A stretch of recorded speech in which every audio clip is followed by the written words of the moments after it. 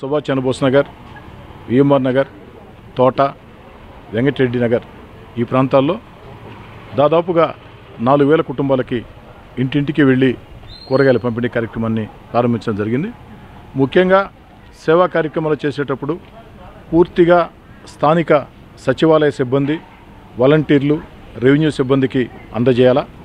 వారి ద్వారా ఇంటింటికి అందించాలా? వారు అందించేటప్పుడు కూడా అన్ని రకాల జాగ్రత్తలు తీసుకోవాలా అన్న ప్రభుత్వ ఆదేశాలతో ఈ యొక్క గాంధీనగర్లో ఉన్నటువంటి ముప్పై డివిజన్లో ఈరోజు ఈ యొక్క కూరగాయల పంపిణీ పూర్తిగా వారికి అప్పచెప్తున్నాం.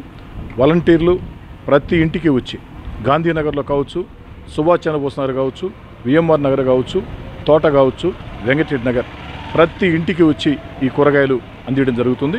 వాలంటీర్లకు కూడా నేను ప్రత్యేకంగా మనవి చేసేది ఏమిటంటే ఈ యొక్క ఇంటింటికి వెళ్ళి కూరగాయలు మీరు అందించేటప్పుడు పూర్తిగా సామాజిక దూరం పాటించండి.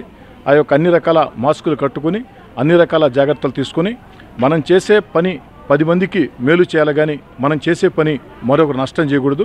ఈ కరోనా కష్టకాలంలో గుంపులు గుంపులుగా ఉన్నట్లయితే ఒకరికి ఒకరు దగ్గరగా తిరుగుతున్నట్లయితే పొరపాటున ఆ పది మందిలో ఒకరికి కరోనా ఉంటే ఆ మిగతా పది మందికి కరోనా వచ్చే పరిస్థితి ఉంది కాబట్టి దయచేసి పూర్తి జాగ్రత్తలు తీసుకోవాలని సామాజిక దూరం పాటించాలని ముఖ్యంగా ముప్పై డివిజన్ రెడ్ జోన్ పరిధిలో ఉంది.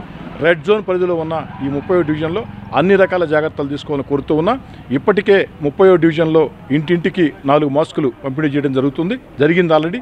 ఇప్పటికే ముప్పై డివిజన్ ఈ యొక్క ప్రాంతాల్లో ఇంటింటికి నాలుగు మాస్కులు అందించడం జరిగింది. ఇప్పుడు కూరగాయలు కూరగాయలు అందించబోతున్నారు